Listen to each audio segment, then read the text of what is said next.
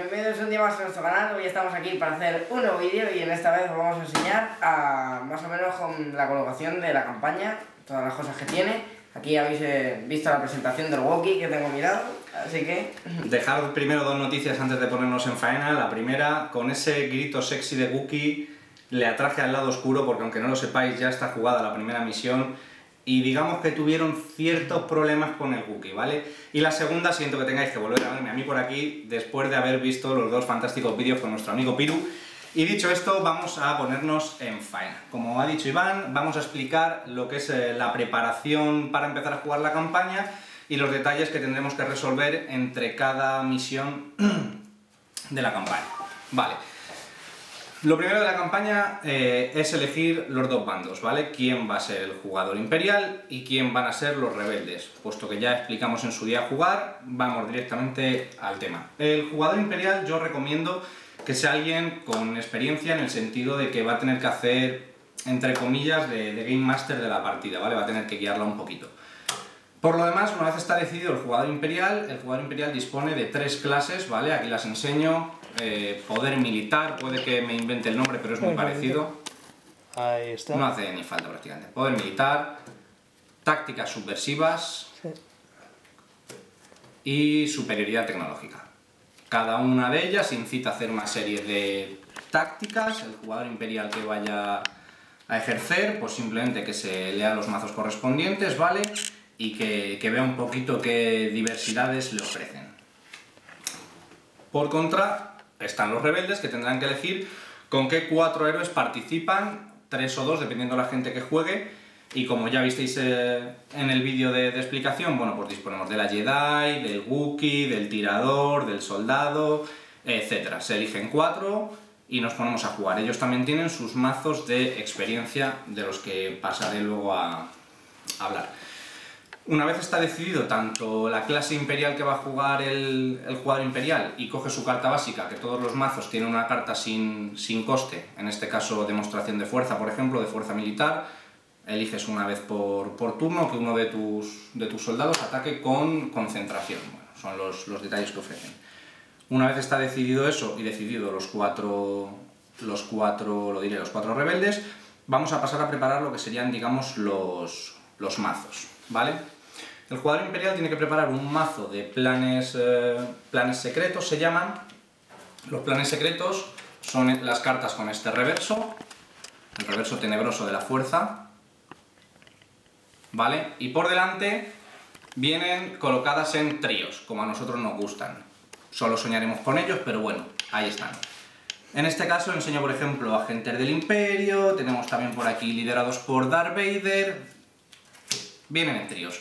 Explico el porqué de haberlo separado así. El jugador imperial decide 6 de estos tríos, ¿vale? Habrá momentos en los que tengamos más o menos, dependiendo de las expansiones que hayamos adquirido, adquiere 6 de los tríos, los junta todos, los baraja y prepara su mazo de secretos imperiales, ¿vale? El resto de cartas las obviamos, los planes que no vayamos a utilizar y esto se queda preparado para el final de cada una de las misiones. Por contra, los rebeldes tendrán que preparar su mazo de misiones secundarias. Las misiones secundarias tienen tres tipos de cartas. Sí, el reverso para que se vea. Este es el reverso. Vale. ¿Vale? Y por el frente tenemos las de color verde, no sé si se ve sí. que el borde es de color verde, color rojo sí. y grises. ¿Vale? ¿Qué diferencia cada una de ellas y cómo vamos a crear el mazo? Las rojas corresponden a los personajes que estén jugando como héroes, ¿vale? Cogeremos la que corresponde a cada héroe y las dejaremos aparte. Tendremos que tener 4, 3 o 2 en función de los héroes que participen. Después, de las cartas verdes, se cogen otras 4 esta vez elegidas por, el, por los rebeldes. Las ponen todas sobre la mesa y deciden cuáles les, cuáles les gustan. ¿Qué recompensas nos van a dar estas cartas? Siempre aliados. En este caso tengo en la mano la de Han Solo, puede ser Han Solo, puede ser Chihuahua, puede ser Luke Skywalker, bueno, una serie de aliados que nosotros decidiremos cuáles nos convienen o no. Y cogeremos cuatro. Maguki no, Maguki no. Maguki no, ¿verdad? cogeremos cuatro y las añadiremos al mazo. Y después de las grises Cogemos todas las grises que haya, las ponemos boca abajo, se barajan y se sacan cuatro al azar, ¿vale? Y con estas cuatro rojas, cuatro verdes y cuatro grises que hemos hecho, se baraja y se prepara un mazo. Y este mazo está ya preparado también para después de cada misión. Con eso ya tenemos, digamos, lo que serían los... He dejado todas estas aquí. Eh, los mazos que vamos a necesitar en la campaña. Ya tenemos elegidos los cuatro héroes y cada héroe ha cogido la carta básica de su mazo, que básicamente es su arma. Ya explicamos el otro día el tema de los armas, de la que los armas representan los dados que tenemos de ataque, etc. Y el jugador imperial habrá definido también qué clase es. Entonces nos quedaría empezar a jugar. ¿Cómo se juega la campaña?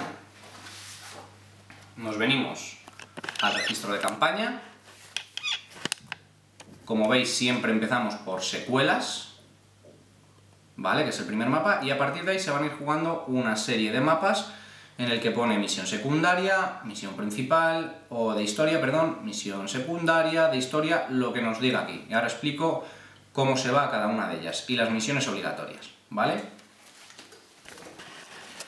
Siempre empezaremos por secuelas, como ya explicamos en su día, aunque esto lo voy a explicar, enseñar brevemente, el mapa nos viene totalmente definido con una explicación que es secreta para los rebeldes de todo lo que va a ir aconteciendo, pues si se abre una puerta pasa X, si muere tal señor pasa otra cosa, y en qué condiciones gana el imperio o ganan los rebeldes. Eso viene muy, muy bien definido en cada misión.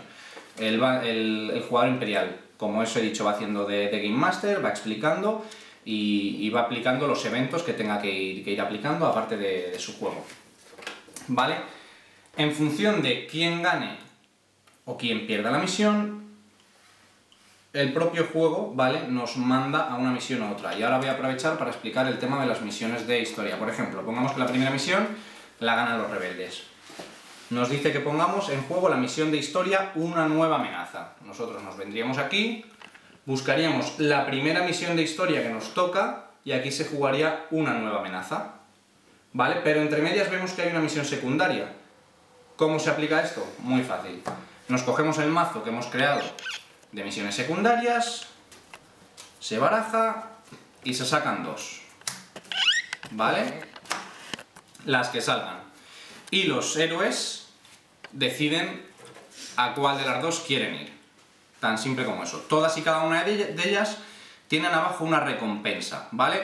Esto es algo que se van a llevar 100% seguro los héroes si ganan esta misión. Y aprovecho para enseñar el mazo de recompensas.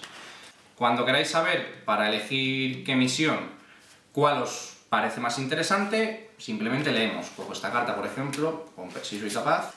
La misión se llama una tarea sencilla y aquí abajo pone, no sé si se lee, carta de recompensa, implantes adrenales. No, no se lee, pero Bueno, no se lee, ya lo leo yo. pues aquí tranquilamente en este mazo, que es el de las recompensas, buscamos los implantes adrenales. ¿Enseña el reverso para que se vea bien? Muy importante los reversos siempre. Sí, hombre, para que la gente sepa encontrarlo. ¿Vale? Implantes adrenales. estas cartas son de conocimiento público, o sea, lo podemos mirar para elegir con criterio a dónde vamos a ir. Implante adrenal, la leo. Agota esta carta tras descansar y adquieres concentración. Bueno, ¿que nos parece interesante? Vamos a esta. ¿Que no? Nos leemos la recompensa de esta otra y elegimos, tan simple como eso. Eso será ya al gusto de, de los participantes en la partida. Vale, eso con respecto a cómo ir completando la fase de misiones, ¿vale? Siempre que aparezca una misión secundaria elegiremos entre las dos, obviamente si jugamos esta, esta se va, la descartamos, e inmediatamente tenemos que coger otra, siempre tiene que haber dos disponibles, ¿vale? Y cuando toque misión de historia jugaremos la que nos obligue, la última misión de historia que hayamos jugado. Si hemos ganado nos mandará a un sitio y si hemos perdido nos mandará a otro. Eso es muy intuitivo. Y ahora vamos a explicar un detallito que puede suceder a veces. Me parece que por aquí tengo alguna. Vale. Pongamos que yo, como imperial, he robado esta carta. Ahora explico cómo se roban y cómo se, y cómo se compran. Que dice, juega esta carta como la misión secundaria Obsesión Oscura. Hemos dicho que estos son misiones secundarias, es decir, yo la pondría aquí. En este momento tendríamos tres misiones secundarias y una de ellas ha sido jugada por el Imperio. Esto es un detalle importante que no se debe pasar por alto. Siempre que el jugador imperial juegue una carta de misión secundaria y no se elija, es decir, ahora mismo ellos dos deciden jugar esta, ¿vale? Porque quieren jugarla, automáticamente esta misión se descarta y el imperio se lleva la recompensa que ofrece, que en este caso es Darth Vader. Está todo muy bien hilado porque ahora voy a hablar sobre los aliados y los villanos, ¿vale? Y se descartaría. ¿Que deciden jugarla? Pues tienen la opción, si la ganan, los aliados de, Que ganar a Darth Vader y de jorobar al imperio y que el imperio se quede sin ganar la posibilidad de tener a Darth Vader, ¿vale? O sea, siempre que el imperio nos coloca aquí una tercera carta, o se, o juega, claro, o se juega para evitar la recompensa del imperio, o el imperio se la descarta y se lleva automáticamente la, la recompensa. Vale, y por último, misiones obligatorias.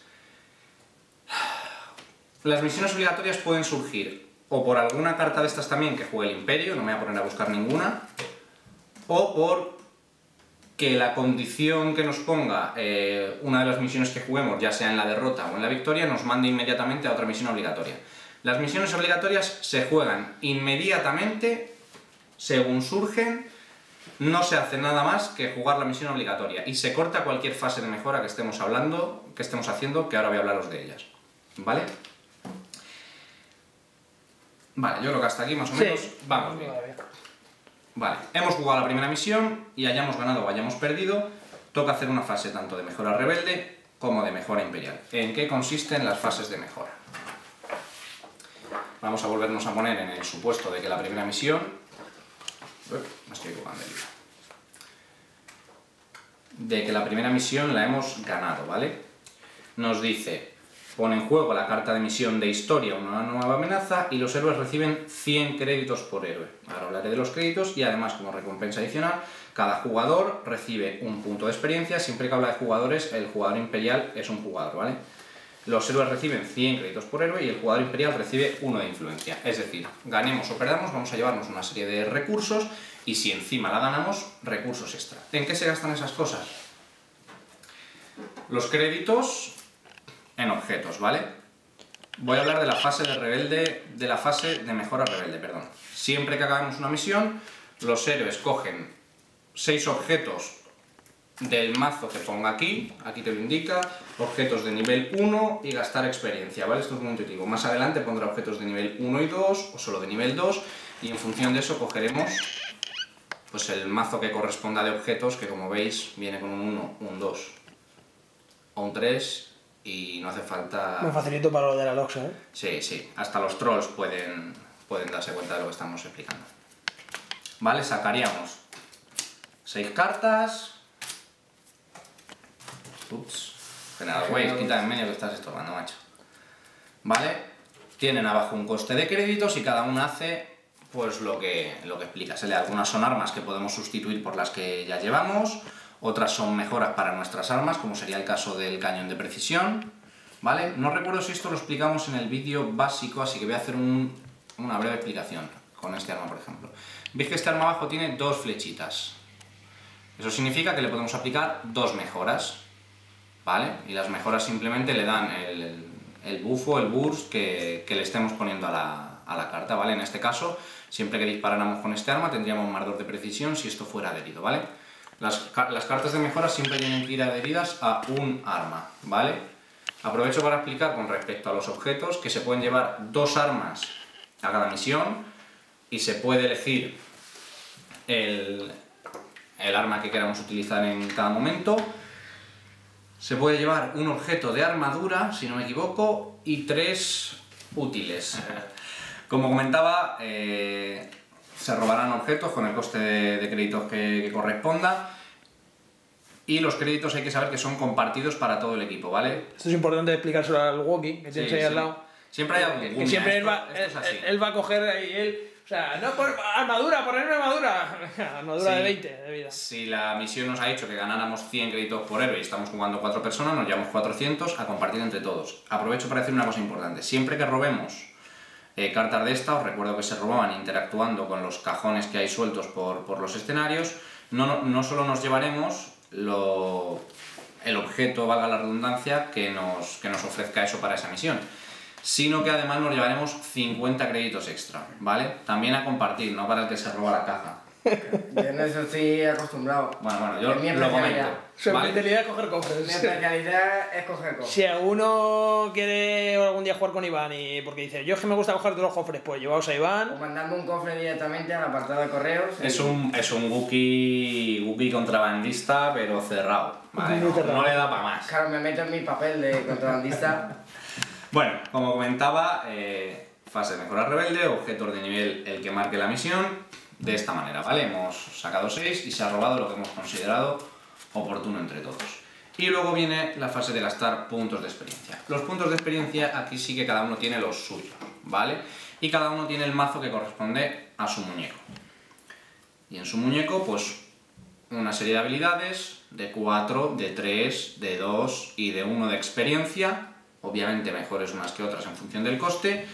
Nosotros decidiremos cuáles compramos y cuáles no para complementar el estilo de juego de nuestro, de nuestro jugador. Igual, cuando decidamos qué personaje vamos a ser, nos leemos el, mazo que le corresponde y, y vamos comprando lo que creamos oportuno. Se puede guardar directamente para comprarnos uno, un, lo diré, una carta de experiencia de 4 puntos, podemos comprarnos directamente la de 1, eso al gusto, ¿vale? No hay restricciones. Y hecho esto, iríamos a la fase de mejora imperial.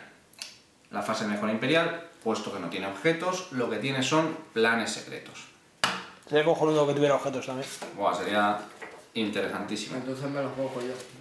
Como ya comenté, en, en las recompensas de la misión, aparte de la experiencia, que es para todos los jugadores y así lo estipula, y de los créditos, pone que el jugador imperial recibe uno de influencia en este caso. ¿vale? Pues estas cartas de planes secretos tienen un coste de influencia aquí abajo, ¿vale? Véase 3, 1, 1, el que sea. ¿Cómo robaremos de estos? Igual el jugador imperial baraja el mazo que ha creado, que ya os he comentado antes cómo, se coge cuatro cartas que por supuesto solo él puede ver y decide. Siempre podrá robar algo con el coste de influencia que él tenga, ¿vale? Lo único que es recomendable es que os enseñe la carta que se ha cogido, ¿vale? Y os diga, oye, mira, pues me cojo esta que me vale 2 de influencia, o esta que vale tanto. En este caso se hubiera llevado Vale. y se la queda y se la queda él. Con respecto a las cartas de influencia, hay muchas que ponen mantén esta carta en secreto hasta que tú lees la carta y te dice cuándo puedes utilizarla.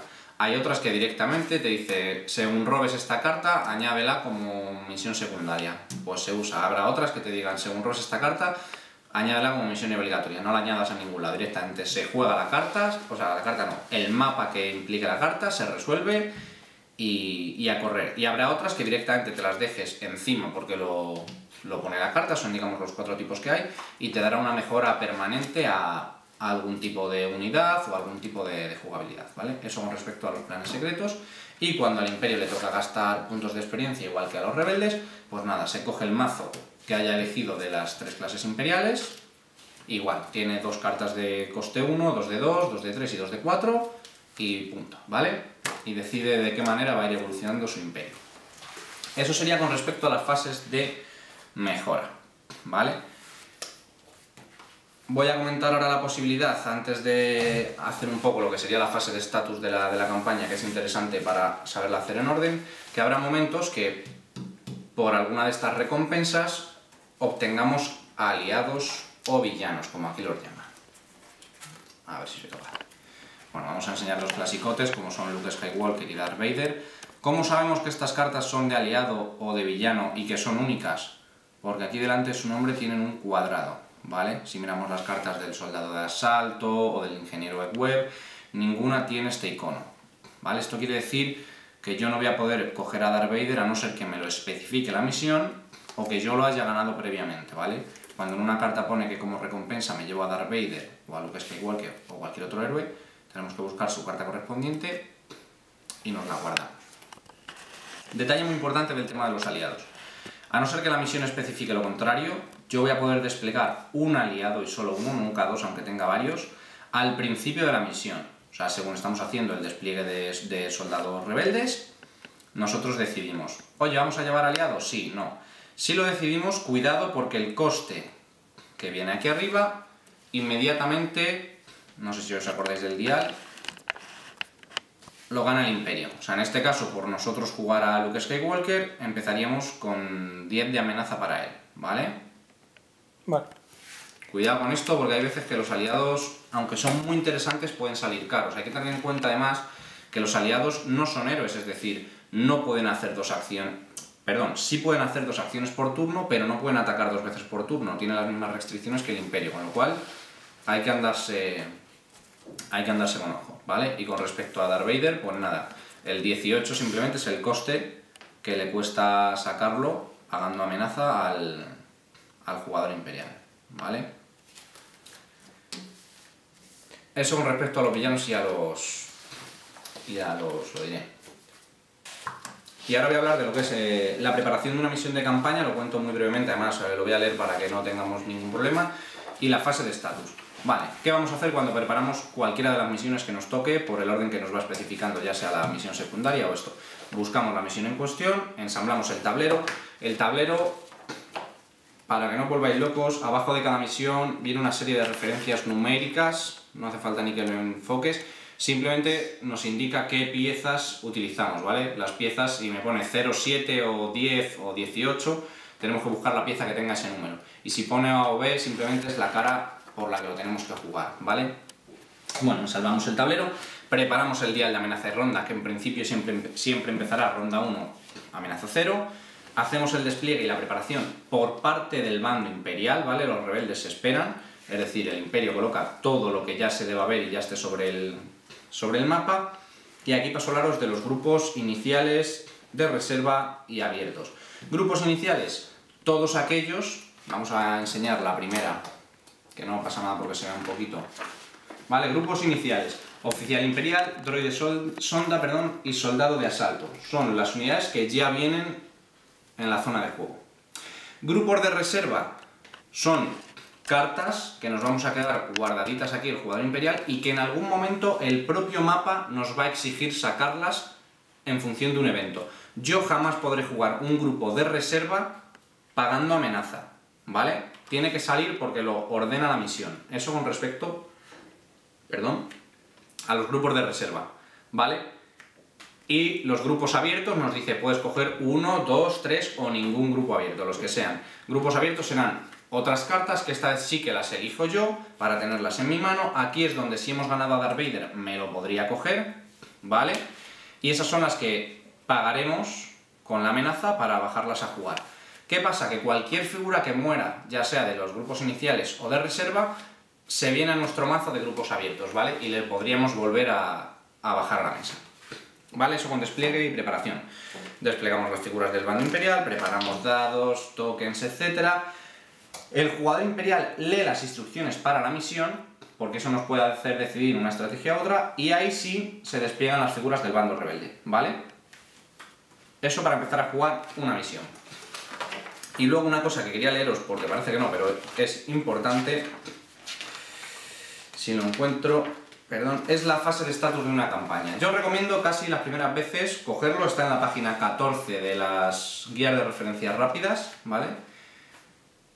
Y lo hacéis en este orden, porque puede tergiversar la campaña. Primero te dice que aumentes el nivel de amenaza, ¿vale?